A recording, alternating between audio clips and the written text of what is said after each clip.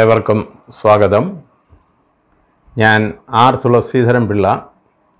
എന്റെ YouTube ചാനലായ rules are gods the staff class റൂമിലേക്ക് വീണ്ടും നിങ്ങളെ സഹർഷം സ്വാഗതം ചെയ്യുന്നു. ഇന്ന് നമ്മൾ ലീവിന്റെ ബാക്കി ഭാഗങ്ങളാണ്. കെ എസ് ആറിൽ കുറച്ച് നമ്മൾ എടുത്തിരുന്നു. ഇന്ന് നമ്മൾ ലീവിന്റെ ബാക്കി ഭാഗങ്ങളാണ് ചർച്ച ചെയ്യുന്നത്. കഴിഞ്ഞ വീഡിയോയിൽ കാഷ് ബുക്ക് എല്ലാവർക്കും വളരെ പ്രയോജനപ്രദമായിരുന്നു എന്ന് അറിയുന്നതിൽ ഏറെ സന്തോഷമുണ്ട്. ഇന്ന് ലീവിനെക്കുറിച്ചാണ് ലീവിനെ കുറിച്ചാണ് നമ്മൾ ഡിസ്കസ് ചെയ്യുന്നത്. അതിനു മുൻപ് എന്റെ വീഡിയോ ഇതുവരെയുള്ള എല്ലാ വീഡിയോസും കാണുന്നതിന് വേണ്ടിയിട്ട് നിങ്ങൾ സബ്സ്ക്രൈബ് ചെയ്താൽ മാത്രം പോരാ. സബ്സ്ക്രൈബ് ചെയ്യുന്ന ബട്ടൺ അമർത്തുമ്പോൾ തെളിയുന്ന ബെൽ ഐക്കൺ കൂടി പ്രസ് ചെയ്യുമ്പോൾ തെളിയുന്ന ഓൾ എന്ന് പറയുന്ന ഓപ്ഷൻ കൂടി എടുത്താലേ നിങ്ങൾക്ക് എല്ലാ വീഡിയോസും കിട്ടൂ. അതുപോലെ പുതുതായിട്ട് ഇതുപോലെ റിലീസ് ചെയ്യുന്ന വീഡിയോസും അതിന്റെ നോട്ടിഫിക്കേഷൻസും യഥാസമയം നിങ്ങൾക്ക് കിട്ടും. പലരും എല്ലാ വീഡിയോയും കാണാൻ പറ്റുന്നില്ല എന്നൊക്കെ പറഞ്ഞതുകൊണ്ടാണ് ഞാൻ ഈ കാര്യത്തിലൊരു വ്യക്തത വരുത്തുന്നത്. നമുക്ക് ലീവിലേക്ക് പോകാം. കാരണം ലീവ് ഒരുപാട് ഇനിയും നമ്മൾ പഠിക്കാനുണ്ട്. ഇന്ന് half pay leave commuted leave leave not due and L W എയുടെ ഒരു ഭാഗമാണ് എടുക്കുന്നത്. അത് കഴിഞ്ഞ് ലീവിനെക്കുറിച്ച് ഒരുപാട് സംശയങ്ങൾ ഉന്നയിക്കുന്നുണ്ട്. വിവിധ തരങ്ങളിലുള്ള ലീവുണ്ട്. Maternity leave L W A appendix twelve A B C എന്ന് പറയുന്നതൊക്കെ നമുക്ക് ഡിസ്കസ് ചെയ്യേണ്ടതായിട്ടുണ്ട്. അതുകൊണ്ട് നിങ്ങൾ വളരെ താല്പര്യപൂർവം ഇത് കാണണം. ഓഫീസിൽ ഇത് പ്രയോജനപ്പെടുത്തണം എന്ന് ഒരിക്കൽ കൂടി ഓർമ്മിപ്പിച്ചുകൊണ്ട് ഞാൻ വിഷയത്തിലേക്ക് കടക്കുന്നു. ഹാഫ് പേ ലീവ് അത് കെ എസ് ആറിന്റെ പാർട്ട് വൺ റൂൾ എയ്റ്റി ടൂവിലാണ് അതിനെക്കുറിച്ച് വിശദീകരിച്ചിരിക്കുന്നത്. Grounds for availing half pay leave half pay leave may be availed of on private affairs or on medical certificate.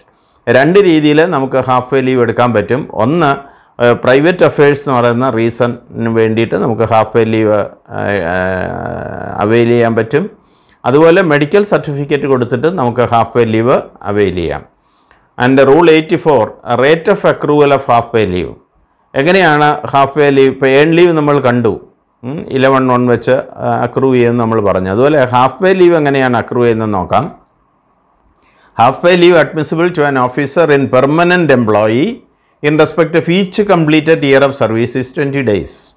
This means half pay leave at a fraction of 20 days will not be admissible for a service of less than one year. ഇത് ഏറ്റവും പ്രധാനപ്പെട്ട കാര്യമാണ്. അതായത് ഒരു permanent എംപ്ലോയിക്ക് സ്ഥിരമായി ജോലിയുള്ള ഒരു ഉദ്യോഗസ്ഥന് ഒരു വർഷം ട്വന്റി ഡേയ്സാണ് അയാളുടെ ലീവ് അക്കൗണ്ടിൽ ഹാഫ് പേ ലീവ് അക്കൗണ്ടിൽ ക്രെഡിറ്റ് ചെയ്യപ്പെടുക. അതേസമയം ആറ് മാസം കഴിഞ്ഞാൽ അതിന്റെ പകുതി അങ്ങനെയില്ല. ഒരു കംപ്ലീറ്റഡ് ഇയറിന് മാത്രമേ ഹാഫ് പേ ലീവ് അക്രൂ ചെയ്യൂ എന്ന് മനസ്സിലാക്കും. ഓരോ കംപ്ലീറ്റഡ് ഇയറിലുമാണ് അതിന്റെ ഫ്രാക്ഷൻ ഒരിക്കലും ക്രെഡിറ്റ് ചെയ്യപ്പെടുകയില്ല ഓരോ ഇയർ കഴിയുമ്പോഴുമാണ് ട്വന്റി ഡേയ്സ് ക്രെഡിറ്റ് ചെയ്യപ്പെടുന്നത് then maximum limit there will be no limit on the half pay leave that can be availed of at a time. This will apply even when such leave is taken preparatory to retirement. അതായത് half പേ leave എത്ര എടുക്കാം ഒരേ സമയം എന്നുള്ളതിന് ലിമിറ്റില്ല എത്ര നിങ്ങളുടെ ക്രെഡിറ്റിലുണ്ടോ അത്രയും leave നിങ്ങൾക്ക് ക്രെഡിറ്റ് ചെയ്യാം അല്ല അവൈൽ ചെയ്യാം. അതുപോലെ തന്നെയാണ് ലീവ് പ്രിപ്പറേറ്ററി റിട്ടയർമെന്റ് ആയിട്ട് ആ സമയത്ത് നിങ്ങൾക്ക് എത്ര ഹാഫ് വേ ലീവ് ഉണ്ടോ അത് മുഴുവൻ നിങ്ങൾക്ക് അവൈൽ ചെയ്യാനും പറ്റും. അടുത്ത half pay leave salary from one seven two thousand fourteen പുതിയ പേ കമ്മീഷൻ വന്നതിന് ശേഷം എങ്ങനെയാണ് half pay leave salary കണക്കാക്കുന്നതെന്നാണ്. For officers drawing basic pay above rupees thirty five thousand seven hundred per month will be half of the basic pay and D A for that amount അതായത് മുപ്പത്തയ്യായിരത്തി എഴുന്നൂറ് രൂപ basic pay ഉള്ള ഒരു government ഉദ്യോഗസ്ഥന്റെ half പേ leave salary കണക്കാക്കുന്നത് അതിന്റെ ഹാഫും പകുതിയും ബേസിക് പേയുടെ പകുതിയും plus D A for that amount അതിന് ബാധകമായിട്ടുള്ള ഡിയർ ഡിയർനെസ് അലവൻസുമാണ് നൽകപ്പെടുന്നത്. And those who draw basic pay of rupees thirty seven thousand thirty seven thirty five thousand seven hundred and below will be eligible for half of the basic pay and full D A ഇത് വളരെ കൃത്യമായി നിങ്ങൾ മനസ്സിലാക്കണം. എന്നാൽ മുപ്പത്തയ്യായിരത്തി എഴുന്നൂറിൽ താഴെ basic pay ഉള്ള ഒരു ഉദ്യോഗസ്ഥന് അദ്ദേഹത്തിന് leave salary half pay leave salary കൊടുക്കുന്നത് half of the basic pay അതായത് മുപ്പത്തയ്യായിരത്തി എഴുന്നൂറിന്റെ പകുതിയും ആൻഡ് ഫുൾ ഡി എയും അതായത് മുപ്പത്തയ്യായിരത്തി എഴുന്നൂറിന് എത്ര ഡി എ കിട്ടുമായിരുന്നു അത്രയും ഡി എയും കൂടെ ചേർത്താണ് അദ്ദേഹത്തിന് ലീവ് സാലറി നൽകുക. And this amount should not be less than sixty five percent the basic pay plus D A that can be drawn before proceeding on leave പക്ഷേ ഇവിടെ ഒരു ലിമിറ്റ് കൂടിയുണ്ട്. അതായത് ഇങ്ങനെ നമ്മൾ ഹാഫ് പേയും ഫുൾ ഡി എയും കൊടുക്കുമ്പോൾ യു ഷുഡ് ഓൾസോ സീ നിങ്ങൾ ഒരു കാര്യം കൂടി ശ്രദ്ധിക്കണം. അതായത് അദ്ദേഹത്തിന്റെ ബേസിക് പേയും ഡി എയുടെയും സിക്സ്റ്റി ഫൈവ് പെർസെന്റ് ആണ് ആ കൊടുത്ത തുക. അപ്പോൾ മിനിമം അദ്ദേഹത്തിന് ബേസിക് പേ പ്ലസ് ഡി എയുടെ സിക്സ്റ്റി ഫൈവ് പെർസെന്റ് കിട്ടുന്നു എന്നും ഉറപ്പാക്കേണ്ടതായിട്ടുണ്ട്. And H R A H T A and C C at full rates for the first one twenty days അതുപോലെ ആദ്യത്തെ വൺ ട്വന്റി ഡേയ്സിൽ ഇതിനോടൊപ്പം നൽകപ്പെടുന്ന അലവൻസസ് എന്ന് പറയുന്നത് എച്ച് ആർ എ കിട്ടും then H T A hill track allowance ഉണ്ടെങ്കിൽ അത് കിട്ടും. And C C A city compensatory allowance കിട്ടും. അത് ഫുൾ റേറ്റിൽ ആദ്യത്തെ വൺ എയ്റ്റി ഡേയ്സ് അദ്ദേഹത്തിന് ലീവ് സാലറി ആയിട്ട് നൽകപ്പെടും. And special pay in lieu of higher time scale special pay പഠിപ്പിച്ചപ്പോൾ ഞാൻ പറഞ്ഞു in lieu of higher time scale എന്ന് പറഞ്ഞാൽ it is as good as basic pay തന്നെയാണ്. അതുകൊണ്ട് സ്പെഷ്യ ആ special pay in lieu of higher time സ്കെയിലും അദ്ദേഹത്തിന് ആയിട്ടുള്ള special പേയും അദ്ദേഹത്തിന് എലിജിബിൾ ആണ് special special allowances granted to certain special categories like police personnel and corresponding categories in fire force prison forest excise and vigilance departments vide note three two rule ninety three K S ആറിന്റെ rule note three two rule ninety ത്രീയിൽ പറയുന്നത് ഈ പറഞ്ഞ നമ്മൾ പറഞ്ഞ ഇത്രയും ഉദ്യോഗസ്ഥർക്കും special allowances ഉണ്ട്. അവരുടെ ബൈ വെർച്യൂ ഓഫ് ദെയർ ഡ്യൂട്ടിയാണ് അതും ഇതിന്റെ കൂടെ നൽകപ്പെടുന്നതാണ് അടുത്ത കമ്മ്യൂട്ടഡ് ലീവാണ് അതായത് rule eighty four conditions for granting commuted leave ആർക്കാണ് കമ്മ്യൂട്ടഡ് ലീവിന് എലിജിബിലിറ്റി ഉള്ളതെന്നാണ് ഇവിടെ റൂൾ എയ്റ്റി ഫോർ സൂചിപ്പിക്കുന്നത്. Commuted leave not exceeding half the amount of H P L may be granted to an officer in permanent employee subject to the following conditions അതായത് commuted leave എന്ന് പറഞ്ഞാൽ എന്താണ്? Half പേ രണ്ട് ദിവസത്തെ half പേയ്ക്ക് ഒരു ദിവസത്തെ commuted leave അപ്പോൾ commuted leave not exceeding half the amount of half pay leave അപ്പോൾ അറുപത് ദിവസത്തെ half way leave ക്രെഡിറ്റിലുണ്ടെങ്കിൽ that person if is a permanent employee he will be eligible for thirty days commuted leave അതാണ് അതിന്റെ അർത്ഥം.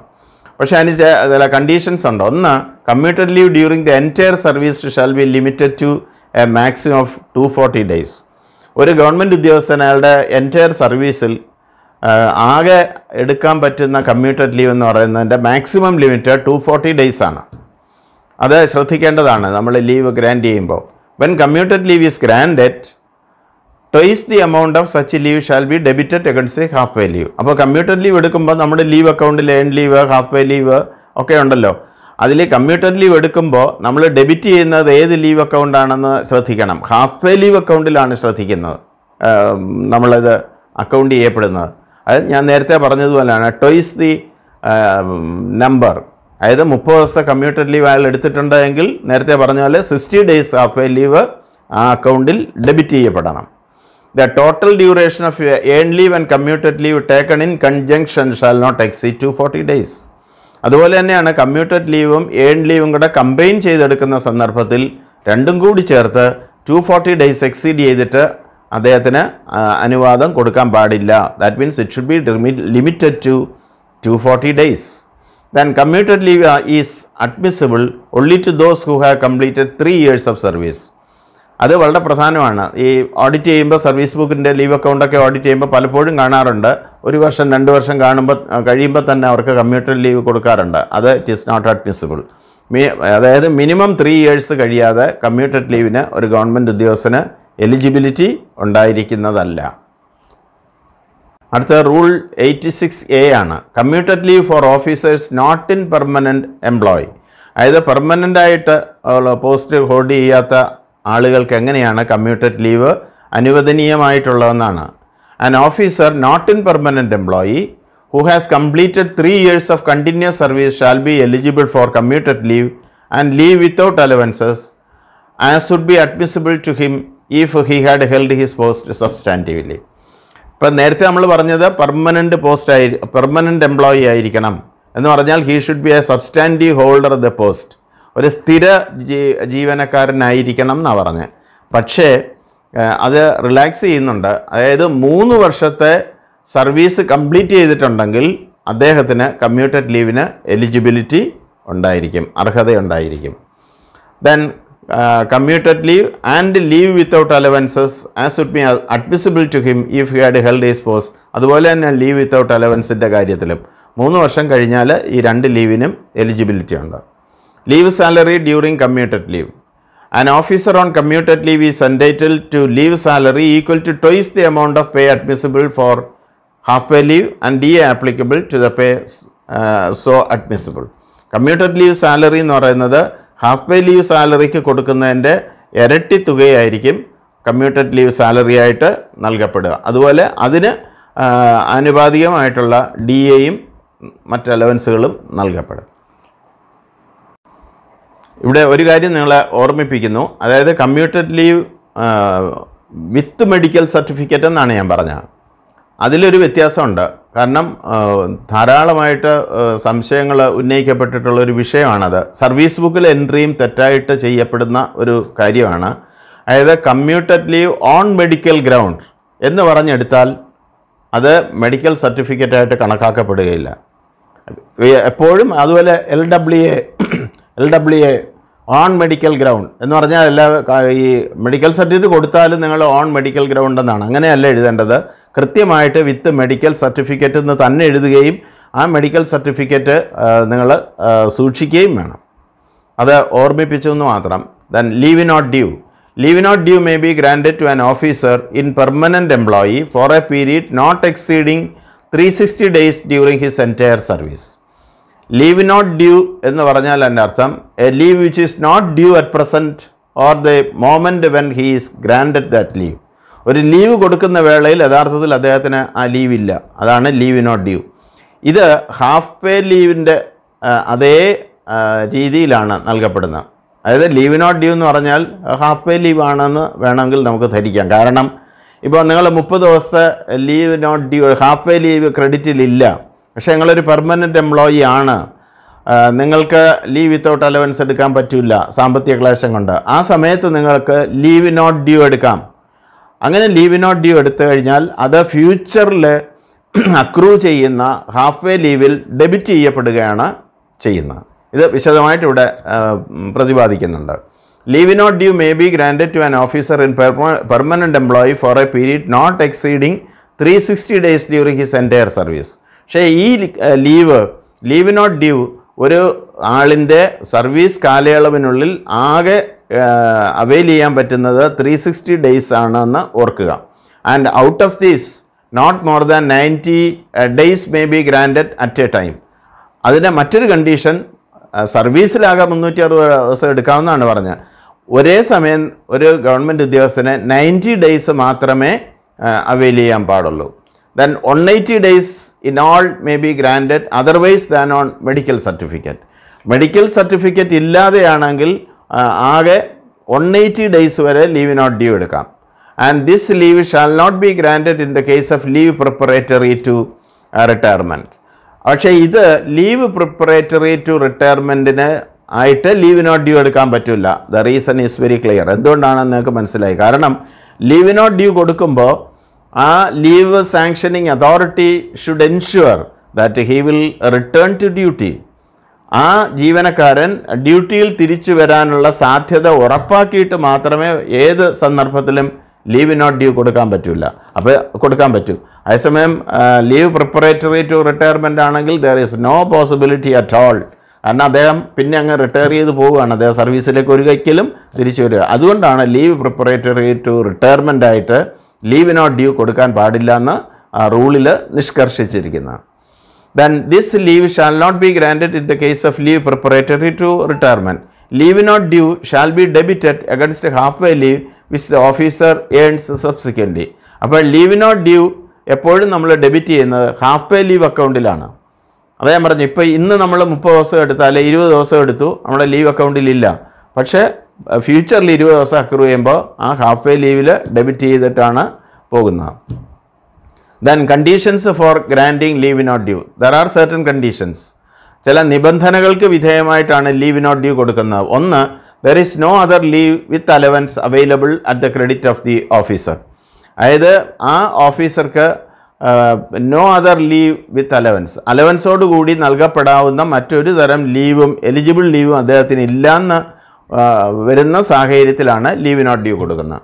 And the leave sanctioning authority is satisfied that there is a reasonable prospect of the officer returning to duty on the expiry of the leave and thereby earning an equal amount of half a leave thereafter ഞാൻ clarify ചെയ്ത് പറഞ്ഞാണ് and it is the responsibility of the leave sanctioning authority leave നൽകുന്ന ആ അധികാരിയെ ഇത് ഉറപ്പുവരുത്തണം. അദ്ദേഹം നിശ്ചയമായും തിരിച്ച് സർവീസിൽ വരും. അപ്പോൾ അക്രൂ ചെയ്യുന്ന ഹാഫ് വേ ലീവിൽ ഇത് ഡെബിറ്റ് ചെയ്യാൻ പറ്റും. ഈ കണ്ടീഷൻ ഉറപ്പുവരുത്തിയിട്ട് മാത്രമേ ഒരു ഗവൺമെന്റ് ഉദ്യോഗസ്ഥന് ലീവ് നോട്ട് ഡ്യൂ കൊടുക്കാൻ പാടുള്ളൂ. അടുത്തത് rule eighty eight leave without allowances leave without allowances with or without medical certificate may be granted to any officer in special circumstances leave without allowances with medical സർട്ടിഫിക്കറ്റും കൊടുക്കാം. Medical certificate ഇല്ലാതെയും നൽകാൻ പറ്റും. എപ്പോഴാണ്? When no other leave is admissible മറ്റൊരു തരം ലീവും അയാളുടെ ക്രെഡിറ്റിലില്ല എന്ന് വരുന്ന സന്ദർഭങ്ങളിൽ എൽ ഡബ്ല്യു എക്ക് അർഹതയുണ്ടായിരിക്കും. When other leave is admissible but the officer concern applies in writing for the grant of leave with without allowances മറ്റ് ലീവൊക്കെ ക്രെഡിറ്റിലുണ്ട് പക്ഷേ ഈ ഗവൺമെന്റ് ഉദ്യോഗസ്ഥൻ he specifically request for L W A അദ്ദേഹം കൃത്യമായിട്ട് എനിക്ക് എൽ ഡബ്ല്യു എ മതി എന്ന് പറഞ്ഞിട്ടാണ് ലീവ് ആപ്ലിക്കേഷൻ തരുന്നെങ്കിൽ അദ്ദേഹത്തിന് അത് നൽകാവുന്നതാണ്. കാരണം നേരത്തെ നമ്മൾ പറഞ്ഞാണ് അയാൾ ഒരു ഗവൺമെന്റ് ഉദ്യോഗസ്ഥൻ ഏത് ലീവ് അപ്ലൈ ചെയ്യുന്നോ ആ ലീവിന്റെ നേച്ചർ മാറ്റാൻ ഒരു ഉയർന്ന ഉദ്യോഗസ്ഥനും അധികാരമില്ല. Then except in the case of an officer in permanent employee the duration of leave without allowances shall not exceed 3 months 3 months on any one occasion. അതായത് ഇൻ ദ കേസ് ഓഫ് ഒരു permanent employee അല്ലെങ്കിൽ the duration of leave without allowances L W A കൊടുക്കുന്നത് shall not exceed three months on any occasion ഒറ്റ സന്ദർഭത്തിൽ മൂന്ന് മാസത്തെ leave മാത്രമേ കൊടുക്കാൻ പാടുള്ളൂ. ഒരു പെർമനന്റ് എംപ്ലോയി അല്ല എങ്കിൽ. Exception when suspension is retrospectively treated as a leave without allowances പക്ഷേ ഒരാൾ സസ്പെൻഷനിലായിരുന്നു അയാൾക്ക് എലിജിബിൾ ലീവ് ഗ്രാന്റ് ചെയ്തിട്ട് അയാളെ റീഇൻസ്റ്റേറ്റ് ചെയ്തു എന്ന് സങ്കല്പിക്കുക അപ്പോൾ അയാൾക്ക് വേറെ മറ്റ് ലീവൊന്നുമില്ല നാല് മാസത്തോളം അയാളുടെ സസ്പെൻഷൻ പീരീഡ് റെഗുലറൈസ് ചെയ്യുന്ന വേളയിൽ അയാൾക്ക് എൽ ഡബ്ല്യു ആയിട്ട് നൽകാൻ പറ്റും. So it is a special occasion how do leave without allowances qualify for service benefits L W A എങ്ങനെയാണ് സർവീസിനെ ബാധിക്കുന്നതെന്ന് നോക്കാം. If L W is taken on the strength of medical certificate അതാ ഞാൻ specific ആയിട്ട് പറഞ്ഞത് അത് തമ്മിൽ തെറ്റിപ്പോരുത് വിത്ത് മെഡിക്കൽ സർട്ടിഫിക്കറ്റും ഓൺ മെഡിക്കൽ ഗ്രൗണ്ടെന്നും പറയുന്നത് തമ്മിൽ വലിയ വ്യത്യാസമുണ്ട്. വിത്ത് മെഡിക്കൽ സർട്ടിഫിക്കറ്റ് ആണെങ്കിൽ എന്തൊക്കെയാണ് ബെനിഫിറ്റ് എന്ന് നോക്കൂ.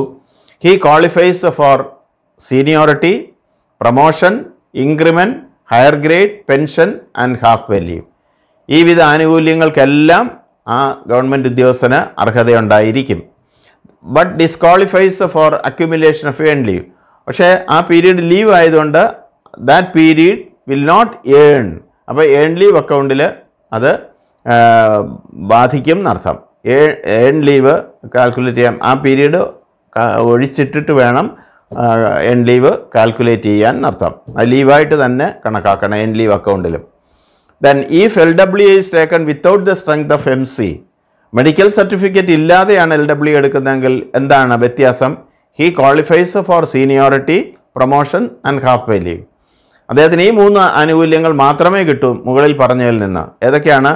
സീനിയോറിറ്റി നഷ്ടപ്പെടില്ല പ്രൊമോഷൻ എലിജിബിലിറ്റി ഉണ്ടാവും ഹാഫ് പേ ലീവ് കാരണം ഒരു വർഷത്തെ സർവീസ് ഉണ്ടെങ്കിൽ അത് ഹാഫ് വേ ലീവിനെ കണക്കാക്കും എന്ന് പറഞ്ഞല്ലോ. അപ്പോൾ ഇതും ഒരു വർഷത്തിന് കണക്കാക്കാം. അപ്പോൾ ഈ മൂന്ന് ആനുകൂല്യങ്ങൾ മാത്രമേ ലഭ്യമാകൂ. ആൻഡ് ഹീ ഡിസ്ക്വാളിഫൈസ് ഫോർ എന്തൊക്കെ കിട്ടാതിരിക്കും? അദ്ദേഹത്തിന് ഇൻക്രിമെന്റ് ഡേറ്റ് പോസ്റ്റ്പോൺ ചെയ്തു പോകും. ദെൻ ഹയർ ഗ്രേഡ് ഇൻക്രിമെന്റിന് കിട്ടാത്ത പീരീഡൊന്നും ഹയർ ഗ്രേഡിനും കണക്കാക്കില്ല എന്ന് നിങ്ങൾക്കറിയാം. ദെൻ പെൻഷനെ ബാധിക്കും. Then accumulation of earn leave earn leave account calculate ചെയ്യാനും ഈ പീരീഡ് എടുക്കില്ല അപ്പോൾ അതുകൊണ്ട് ഇത്രയും ഏത L W A with M സിയും വിത്തൗട്ട് എം സിയും തമ്മിലുള്ള കാതലായ വ്യത്യാസമാണ് ഞാനിവിടെ സ്പഷ്ടമാക്കി തന്നത്. അടുത്ത rule ninety one leave without allowances for study purpose അതായത് കെ എസ് ആറിന്റെ റൂൾ നയന്റി വൺ എന്താണ്? പറയുന്നത് നോക്കാം.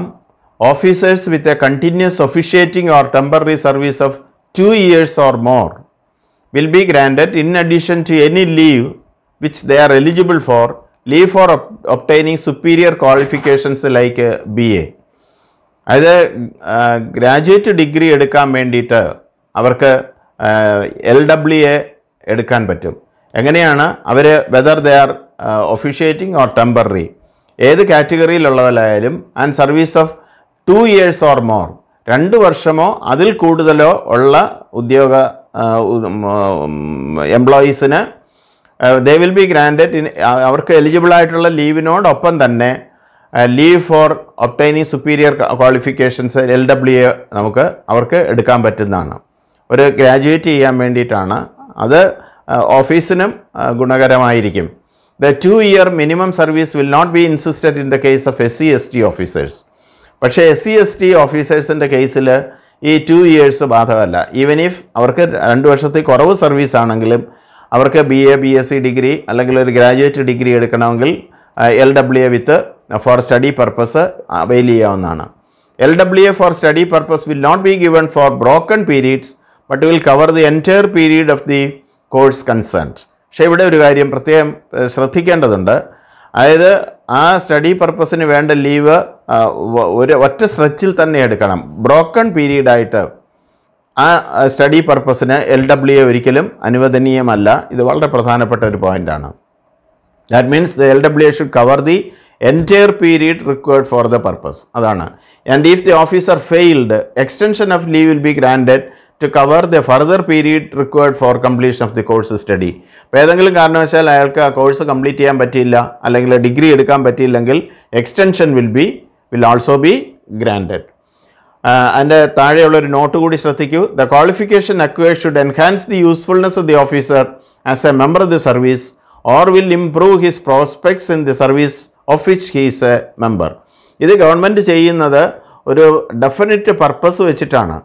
എന്താണത്? അദ്ദേഹം ഒരു ഗ്രാജുവേറ്റ് ആയാൽ അല്ലെങ്കിൽ അദ്ദേഹത്തിന്റെ ക്വാളിഫിക്കേഷൻ എൻഹാൻസ് ചെയ്താൽ അതിന്റെ അൾട്ടിമേറ്റ് ബെനിഫിറ്റ് ഗവൺമെന്റിനാണ് അല്ലെങ്കിൽ ഡിപ്പാർട്ട്മെന്റിനാണ് കിട്ടുന്നത് നല്ല വിദ്യാഭ്യാസ സമ്പന്നനായി മാറിയാൽ അതിനനുസരിച്ചിട്ട് കാര്യങ്ങളെ കാണാനും നല്ല നോട്ട് എഴുതാനും കമ്മ്യൂണിക്കേഷൻ സ്കില്ലും ഒക്കെ അതുവഴി കിട്ടും. ഗവൺമെന്റും ബെനിഫിറ്റഡാണ് ഇതാണ് ഈ സ്റ്റഡി പർപ്പസിന് ലീവ് ഗ്രാൻഡ് ചെയ്തതിന്റെ ഒരു പ്രധാന കാരണം.